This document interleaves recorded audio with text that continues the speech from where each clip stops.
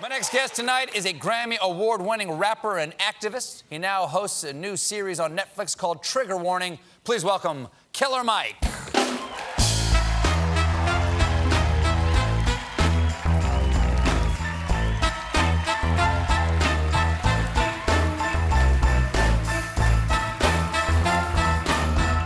Good to see you again. Hey, how are you? How you been? Let me make sure my wife says, don't look fat. Straighten out your shirt. You look good. you, you look big. You just look big. I you am look big formidable. You look like. Hey, how y'all doing? Love y'all too. Now we've talked we've talked a bunch o- o- Yeah. Uh, over the years. We've Fifth- had a lot of fun with you guys. Fifth appearance, okay. Yeah. We've also done some songs together. It's We been a lot of fun. We've done the You're going to be on RTJ4 out here. Yeah. I don't know what that Third means. What- MC, we're adding a guy to the group. You're going to be the third member. Boom. Squad. Now. Uh, so, a successful rapper, Grammy winner. Now you're on Netflix with Yeah. a show called Trigger Warning. Yep. What kind of show is this? Binge? Is this bingeable? I- is this? Can I chill with this? What is going? to If people I still think it's do that, bingeable. My, my wife had a bunch of our friends and a bunch of teenagers over watching it. They seemed to like it. And then we sent the teenagers away and smoked marijuana and watched it again. Did it improve it the second time with a little weed? It was actually, you know, you know, with the teenagers, it was a little funnier. With the adults on marijuana, everyone went to sleep, but we woke up laughing. Sure.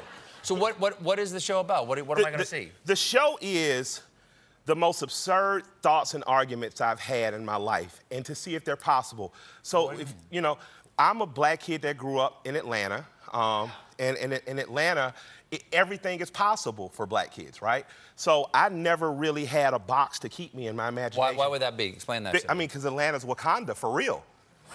skyscrapers and black yeah. people everywhere. Sky- black people everywhere, and we're nice to white people, so it's a great place to go. Atlanta is the black Nashville. okay. Yeah, yeah. Right. I dig it. But um, we said we instead of country music and cowboy boots, we got Nikes and Future. So, I um, but I, I I had questions like, as a kid, I love the bad guy. I love the villain. As Americans, we seem to love the villains, right? So I wondered why don't we celebrate within my community, black community, why don't we celebrate our villains a little more, you know? And I looked at kids who are marginalized, join street gangs and stuff like that, and I knew from experience with having friends, wherever you interject money and jobs, gang violence dissipates.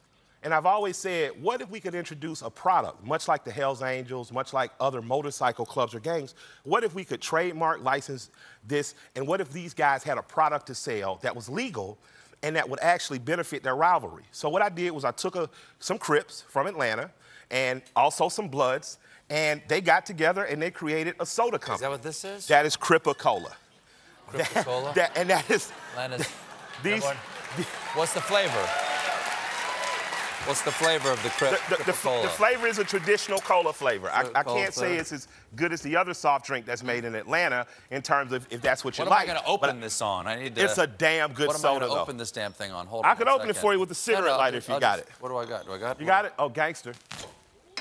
G code. Bam.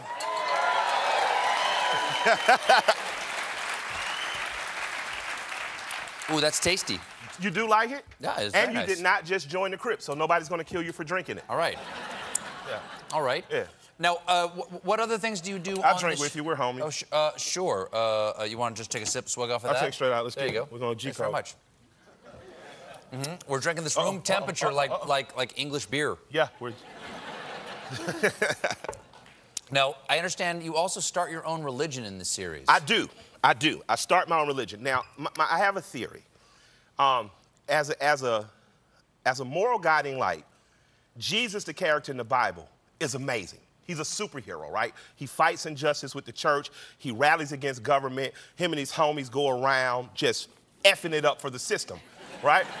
It'd be a great graphic novel. The only problem is, it's we don't we don't get our black Spider-Man. You know what I mean? So, in Why? Because in Western society, He's Jesus a white is guy. depicted as white. Yeah, and he's okay, really yeah, yeah, skinny and his hair's long. He looks like like a member of the Doors. So, I. I always thought the Doobie Brothers. Yeah, the Doobie exactly. Brothers, sure, It- yeah. He's the Allman Brothers. Greg probably Allman, would have Greg smoked exactly. coke or done Yeah. weed or something. Yeah, yeah. But for, with me, I said that wrong. Smoked weed or done coke. But for for me, I think that to raise a confident child in terms of divinity and matters of spiritualness, they need to see people who look like them, or they need to see a deity that looks like them. So I went out into the world saying that we needed to destroy the image of white Jesus, and I begged a mega pastor, Creflo Dollar, to become a messiah of a new religion that I was going to start. and, to, and to let's go to Joel Osteen's church and let's march in and rally like the Black Panthers and tell black people we're leaving white Jesus and this is our new black messiah. And he looked me sternly in my eyes and said, Negro, you're crazy. but so you had to start your own. I did. I started my own religion with my best friend who um, I met shooting dice at seven with in church. Um, Sleepy and I were in the basement of church shooting pool and dice. And he's one of the most morally good people I've ever met, even though we used to steal cars together. He, he's. No, but you know, so you were raised in the church. When you started your yeah. own church, is this a Christian church or is this a Killer Mike church? Like my church is the church of sleep. It's the church of sleepy. So you don't have to get up on Sunday to go? You don't have, no, man, you can, listen, you can enjoy God from your bed. You, you, you don't have to pay tithes because we don't have an official church, but we do have church in the strip club, so if you want to tip the girls, that's fine. Um, but it, but we, we came up, I talked to Ariana Huffy. well, you know, hey, Jesus was naked under the robe. And you, aren't we? You, aren't we all? Aren't we aren't all? We all? Aren't we all? did you take anything from your Christian upbringing to put in your church? Absolutely, I did. I, I, took, I took a lot of sound um, moral lessons from Christianity. To love above hate, right?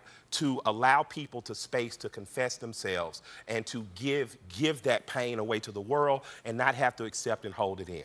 And I took the forgiveness, of, uh, forgiveness and fellowship. There's a lot in all spiritual systems and religions that we can use.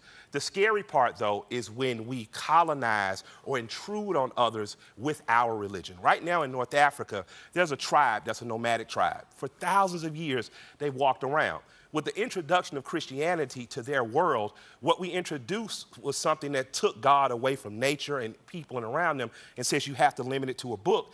And if you don't come to our church, that's not right. Well, that's hurting that tribe because along with Christianity being introduced, also land ownership is introduced. Now, the land to them used to belong to everyone.